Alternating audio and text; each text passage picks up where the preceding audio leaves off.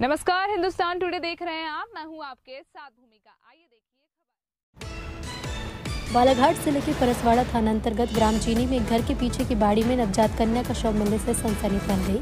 मामले पर परसवाड़ा नगर निरीक्षक जितेंद्र बघेल ने कहा कि परसवाड़ा के ग्राम चीनी में एक अज्ञात नवजात कन्या के शव की सूचना ग्रामीणों से मिली थी। सूचना पर एसडीओपी परसवाड़ा सतीश साहू और TI Jitendra Baghel police team के साथ पहुँचे।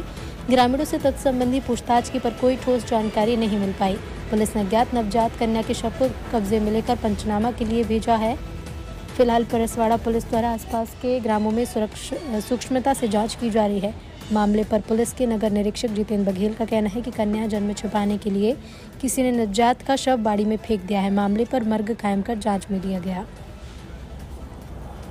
आज सवेरे ज़रिए टेलीफोन की सूचना प्राप्त हुई कि भागवती बाई निवारे के घर की बाड़ी के पीछे में एक नवजात शिशु का शव पड़ा हुआ है जिसे कौवे नोच के खा रहे हैं। जी। सूचना मिलते ही हम तुरंत मौके पर पहुँचे देखा तो शिशु जो है मृत अवस्था में था। जी। और वो नवजात नवजात शिशु है कन्या है। जी। किसी ने जन्म छिपाने के लिए उसे बाड़ी में फेंक दिया था। तो अभी प्राथमिक तौर पर मर कायम करके जाँच में ले लिया गया है।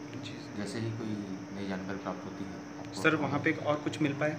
नहीं और कुछ नहीं मिल पाया। है अभी हमने पीएम करा दिया है। पीएम कराने के बाद जो आवश्यक चीज़ें हों तो प्रिजर्व कर ली हैं। जी।